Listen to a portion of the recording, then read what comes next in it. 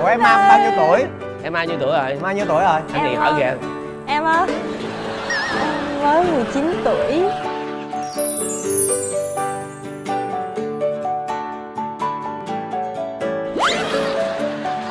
Qua 18 là đủ rồi Anh chỉ cần biết nhiêu đó là đủ rồi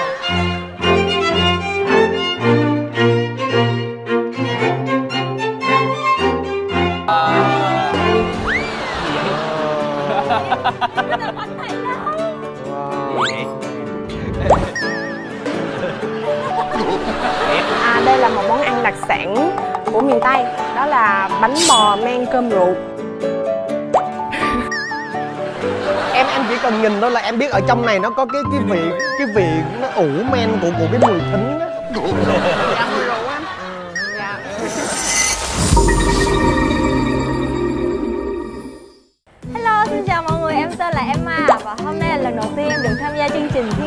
Thực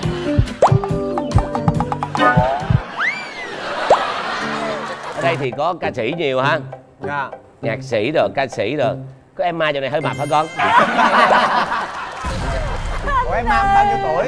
Em bao nhiêu tuổi rồi? Bao nhiêu tuổi rồi? Anh Em hỏi kìa Em á Mới bước sang Em mới 19 tuổi Mới 19 tuổi hả? Qua 18 là đủ rồi Anh chỉ cần biết nhiêu đó là đủ rồi Em nói chơi chứ em 24 tuổi ạ. 24 tuổi hả? Dạ. Trời mà nhìn mười- nói 19 tuổi anh tin luôn á trời. Trời.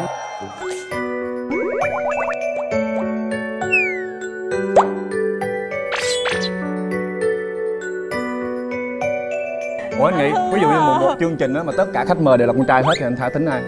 Đó là Biên tập Mời mọi người, mời mấy anh quay phim, mời tất cả các quý vị khán giả Mời 5 ngàn quý vị khán giả đang ờ, theo dõi chương trình. Trời ơi, nè coi gà nè. Gà này gà ta chứ không phải gà công nghiệp nha. Gà, gà đi bộ. Gà đi bộ. Anh nghĩ Đi bộ mệt vô đây ngồi. Anh nghĩ ơi. Cái đũa cái đũa này nó, nó bị Cái đó bự quá. Đây. Thử cái miếng gỏi nè.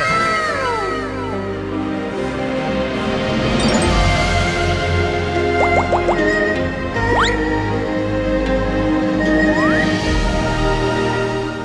cái miếng gỏi nè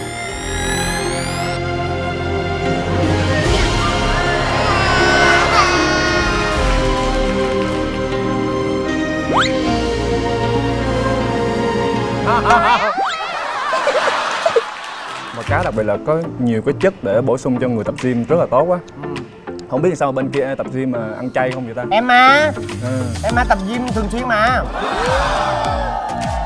Dạ. Nhìn body là biết rồi. Dạ. Nhìn body là biết rồi. Người ta phải mặc áo mà rộng rộng với lại áo viền như vậy nè. It's a, it's a belly so many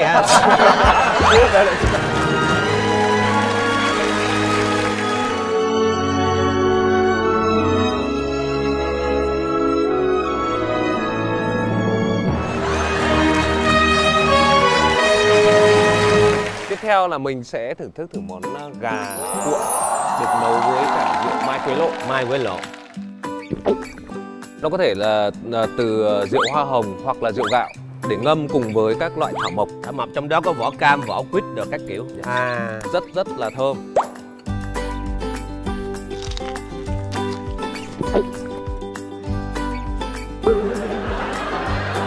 Nấm thơm, mai quế lộ thơm, gà mềm Đây là một trong những cái tiếc nuối Đau đớn Mang lại cảm xúc tiêu cực Dành cho những người bị thương tích Dung Trời ơi em chỉ chơi Chỉ đợi câu đó thôi à Mình sẽ thử cái nấm nè và Trời ơi, cái nấm này Nó tròn nhìn như mặt Emma vậy á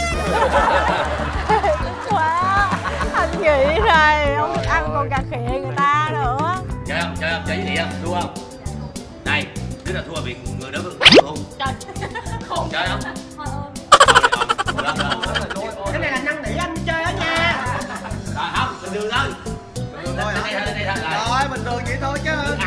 vừa lên được cái là đèn kia liền. Hai, ba.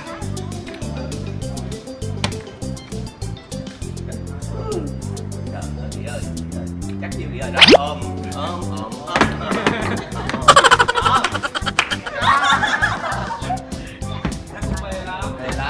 Quá lắm Quá lắm. Chắc từ nhỏ tới giờ chưa được đụng trai đúng không?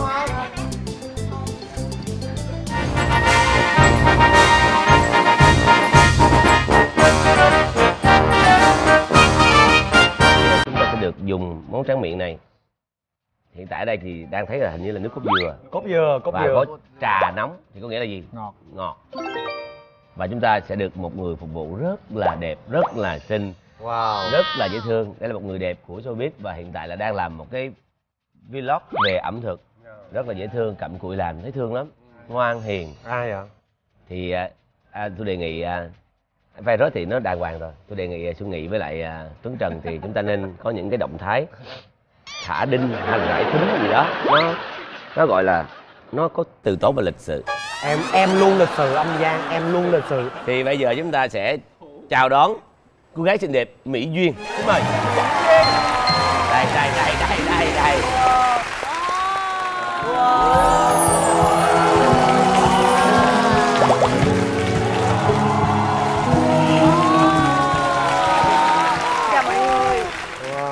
vậy. Nghiêm túc lên nghiêm túc lên nghiêm túc lên xong rồi. Nghị ơi anh anh cảm thấy nóng nực quá anh đổi chỗ được không? Anh này kỳ Ngồi đi cưng dẫn chương trình dẫn chương trình dẫn chương trình Ờ, em có thể giới thiệu các bạn cho ờ, tất cả mọi người ở đây biết được là cái món ăn này là ờ, nguyên liệu nó làm như thế nào và em giới thiệu sơ qua cho mọi người biết dạ. à, đây là một món ăn đặc sản của miền tây đó là bánh bò men cơm rượu nguyên liệu của nó thì gồm có đó là à, bột gạo bột năng men cơm rượu à, nước cốt dừa nước dừa. Bây giờ mình ăn cái cách ăn mình ăn như thế nào em? Và cách ăn đó là mình cứ à, à, cho nước cốt dừa ra đĩa nè sau đó mình à, chấm bánh bò thôi anh anh hỏi là trong cái này là mình ủ lên men em cái cái cái loại bánh này nè. Trong đây á, thì mình có một cái nguyên liệu rất là quan trọng đó là men cơm rượu. Mình phải ủ nó tầm 3 đến 4 ngày trước khi mà à, trộn với bột gạo và bột năng. Thơm thơm thơm. Em em chỉ cần nhìn thôi là em biết ở trong này nó có cái cái vị cái vị nó ủ men của của cái mùi thính á. Mùi rượu. Dạ mùi rượu anh dạ Ờ, bây giờ mà mình mình bắt đầu ăn được chưa em hả? Dạ được ạ. Thì bây giờ em đang đóng vai ông hoàng hạnh phúc đó. Em là người được ăn đầu tiên với với sự phục vụ của mỹ duyên. À, uống nước cốt dừa cho anh ha. Thiệt luôn á trời coi tay kìa thiệt. Em quê ở đâu hả? Dạ ở bến tre bến tre hả? Anh biết ngay mà tay nha tay gì là biết là hay gần gần dừa. Uống nước dừa rồi ăn trái dừa cho nên là da nó mới mịn màng như vậy khoan à ông ông trùm chưa ăn tụi anh đâu chứ mà ăn à, đừng, nha. Ừm, cái um, cái cái mùi ờ, cốt dừa nó rất là thơm và cái mùi nó rất là béo ăn vào. Duyên làm nó duyên làm nó béo. Thôi mọi người mình mình mời đi mình dùng đi. Chờ chờ từ nãy tới giờ. Ngon lắm nè em làm hả? Dạ. Em làm. Dạ. ừ. chị duyên xinh quá à dễ thương. Im đi ai cho tụi nói cái của người ta?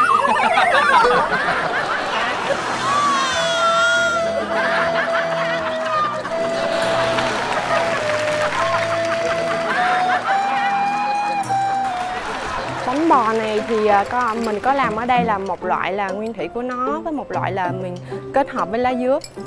Lá dứa là màu xanh đúng rồi, đúng rồi. ở miền tây rất là thích ăn kiểu pha với cả lá dứa này nọ cái bánh này nó ăn vô nó rất là dai. Còn bánh bình thường ăn nó dễ bị bể á. Thì cái bánh này nó dai như xuân nghị vậy đó. Ngồi hoài không chịu trả chỗ. Quên. Sao anh không nói em? Trời ơi em ăn cái bánh bò cho em dính thính xong rồi. Mọi thứ tiêu tan hết luôn. đứng này trước khi về chào người ta cái chứ. Chào người ta một cái. Nghệ sĩ là vậy đó em nhây lắm. Nhưng mà ngon ở đây là ngon cái nước cốt dừa á. Anh nói thiệt hiện tại thì duyên chưa có mở một cái nhà hàng nào về những món ăn vặt hay là những món này hết thì à, đang cần một số nhà đầu tư. À, kính thưa các à, cá lóc.